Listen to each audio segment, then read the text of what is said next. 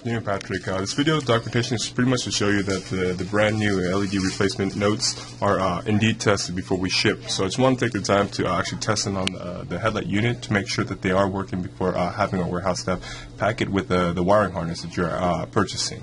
So I have an actually E82 headlights which I'm going to be using, which is exactly the same connections with your E39 chassis U-ring headlight. So I have everything wired from the main connector powering on. This is to show you that I have proper power to the, the original Angela rings. Again, I'll be using these connections to test the, the brand new replacement.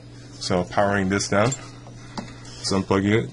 Again, this white connection will be the same as yours on the E39 headlights, uh, which is the reason why we're indicating these are pretty much replacements for yours as well. So, plug them in. All right. So, again, same drill. Uh, because I disconnect the wire, it won't no longer power here. It actually will power these two LED nodes. So I'll be demonstrating this for you right now. So power on. You can see the are pretty fairly bright, but uh, just noting uh, that both nodes are working with no issues. Awesome. So I'll be handing off this tested replacement uh, LED nodes to our warehouse staff to have them uh, also pack in a relay harness, a brand new one for you as well. So we'll be providing the tracking number as soon as I have it on hand. Uh, thank you so much for your time.